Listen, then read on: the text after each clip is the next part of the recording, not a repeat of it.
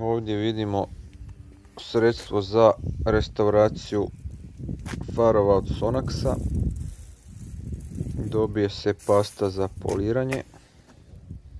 Dobije se vosak koji pruža UV zaštitu. Ova tubica to je pasta za poliranje, to je dovoljno čak i za više od dva tretmana oba dva fara. Uglavnom na paketu imaju slikovne upute i opisano je sve tako da nije ništa komplicirano. Ovo je filc koji je spojen na spužvu, na nju se nanosi pasta za poliranje. Znači s tim filcem se u biti polira, to nije samo za natapkat pa onda s krpom, nego se s tim polira. Ovo su ostaci od šmirganja fara. Tako izgleda ta plastika kad se šmirgla.